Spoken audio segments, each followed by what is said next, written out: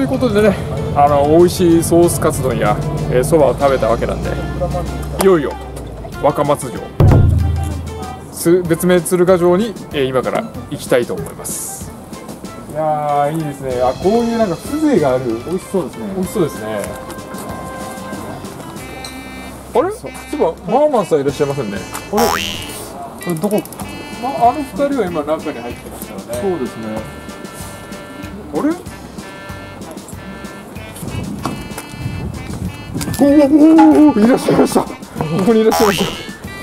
あの謎の人物さんとオリンバンさんがなんかおばちゃんに捕まってますね。お茶お茶してきなさいってそのまま。なんかおやつ食べてるもん。あれ？食べてるよ。おやつ食べてますね。お茶飲んで。あれ？じゃあお茶あったかいな。いいんですか？いいんですか？昔ながらのストーブですね。まんじゅうは天ぷらだから。すごいな。ここでここでちょっと一息してから。鶴ヶ城行きたいと思います。のんきに食べてますよ。うま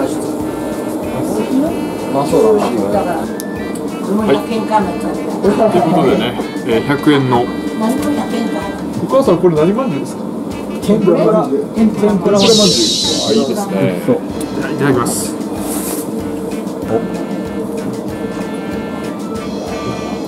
うまい美味しいですね。まんじゅうはなんか天ぷらにしたみたいな感じだな、うん、天ぷらまん。じゅうまんじゅうを天ぷらしたみたいな感じですね。まんじゅうそうそうそうそう。だなんでコメントないんかい。ありがとうございます。ごちそうさまでしたありがとうございましたはい、ありがとうございます。美味しかったな。熊本城みたいな城壁がそうなんだこんな感じなんです熊本城熊本城はもう城壁がすごい。ですうん敵返しから攻められる。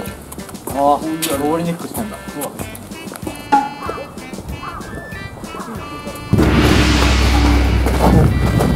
いいね。見えてきました。もう少しです。民族が変な人たちがますけどね。まあこれはほっといて。行きましょう26歳のノリじゃないですね。はい。子供たちの戯れですえー、近くまで来ましたかね。かなり迫力があります。鶴ヶ城はですね芦田直盛という人が、えー、建てた城でございます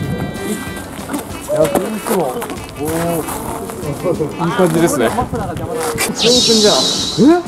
そのためのお城さんここにいたのスライド注文がタケノコプロジェクトの欲しいお城僕にいたんだお城僕いたねどんなんみたいえ？ー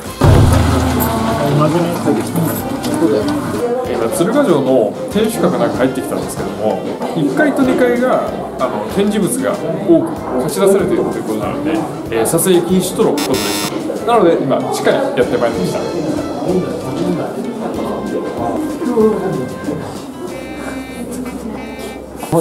塩蔵のご紹介ですね。塩塩試しなの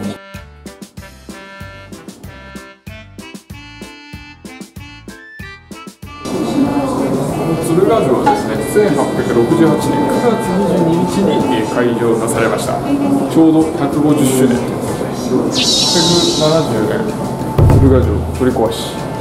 壊したんだ一回、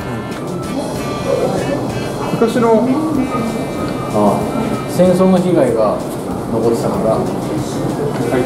廃墟なんだ展望台やってまいりました。ちょっと見ていきましょう。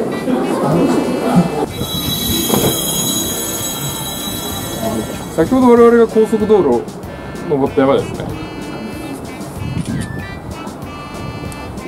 先ほど我々が通ってきた山々は雪で覆われてるいやー綺麗だね。やっぱ白ロボ人気だ。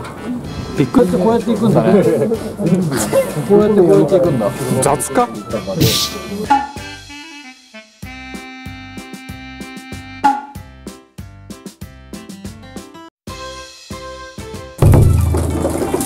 はいということでね鶴ヶ城良かったですね。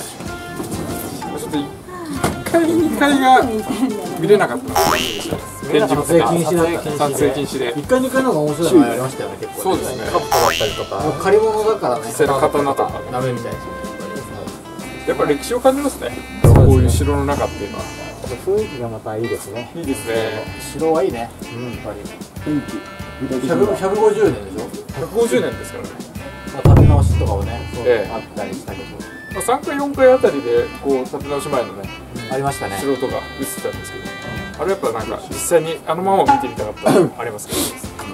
なかなかね危ないってのはねあのあの子そうですね。まあちょっと当時の戦争のね三だ城に与えたダメージが相当あったのかな。写真からも感じてこれ直松さん印象に残ったこ。とあります印象に残ったこ。とできちゃった八重の桜とかに出てた新島八重さんとか有名な人物ももちろんなんですけど改めてこ。うしてこ。の場にいるとその歴史を感じますねいいとこ。ろ面白いですねそうですねというこ。とで、えー、鶴ヶ城でしたねまだまだ福島ロケは続きますこ。れからですねそうですねではまたバイ